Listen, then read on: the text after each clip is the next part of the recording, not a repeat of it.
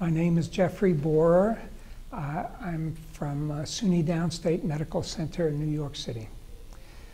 I spoke about uh, the modifying effects of uh, uh, direct measurement of contractility of the left ventricle uh, on the prognostic implications of symptoms in patients who have aortic regurgitation and have undergone aortic valve replacement. It is uh, well accepted that preoperative symptoms are predictors of long-term postoperative outcome. It's also well accepted that preoperative contractility or left ventricular functional assessment uh, is uh, a predictor of postoperative outcome. But the interaction of these two factors really hasn't been known. We uh, assessed the data from 66 consecutive patients from our large and long, uh, long-standing prospective study of the natural history of aortic and mitral regurgitation uh, to uh, determine whether the uh, uh, what to determine the nature of the interaction between left ventricular contractility and symptoms in predicting outcome after aortic valve replacement.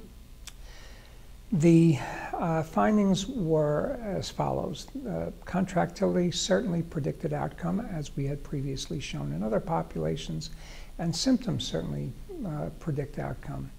However, when we assessed patients based on their symptoms and their contractility together, we found that there was a little bit of a difference. Uh, patients with neither symptoms nor contractility deficit uh, prior to operation did very well after operation. People with uh, symptoms uh, without, uh, with symptoms without a contractility deficit did a little less well, but did well.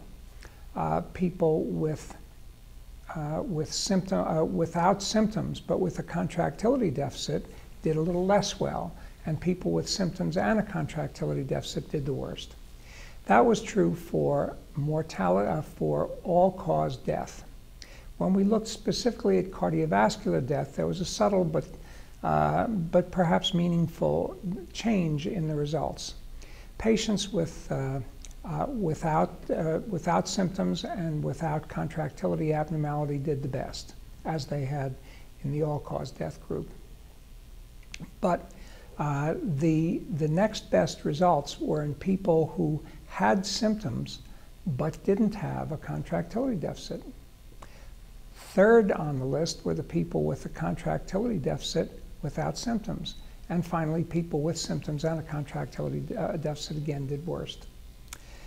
The results of that analysis suggest uh, several things. First of all, uh, that contractility certainly does modify inferences about uh, uh, about long-term postoperative outcome based on, on symptoms alone.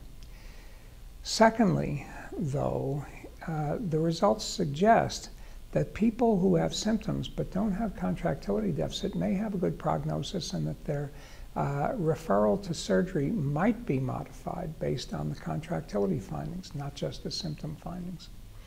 I, th I think that's the, the major major point to be taken away from this is the importance of objective measurement of contractility. And remember that symptoms are subjective findings. Unless we're going to semi-objectify them by performing regular exercise tolerance tests, I think that it's not unreasonable to expect that an objective measure of uh, intrinsic cardiac muscle function uh, should be perhaps more important in, in determining outcome. The benefit of coming to meetings like this is that they're intimate.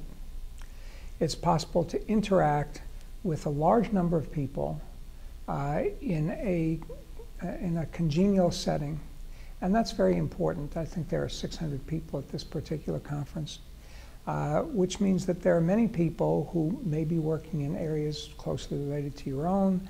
Uh, you have the opportunity to discuss and defend ideas among people who are thinking about the same things you are. Uh, and again, you can do it in a relatively intimate setting. That's um, a great benefit to people who are involved in uh, in investigative activities within cardiology or any field, it might be possible to do that at the large, uh, large cardiac meetings, the American Heart Association, the American College of Cardiology, the European Society of Cardiology meetings, but those meetings are so big that it is very difficult to achieve the kind of interaction that you can at a, at a meeting like this one. I've attended every one of these since 1993. Uh, I always come away with uh, uh, come away having learned something that I didn't know before by listening to somebody talk. I find that very valuable. I find it very valuable to have the opportunity to informally discuss with someone what I think and determine whether they agree or not. And if not, why not? Because it affects the way I think.